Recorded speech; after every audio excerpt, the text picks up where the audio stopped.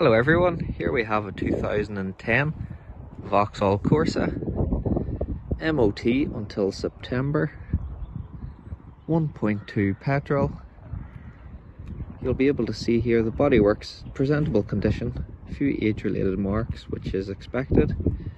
Just let you see the interior. Clean dark cloth interior.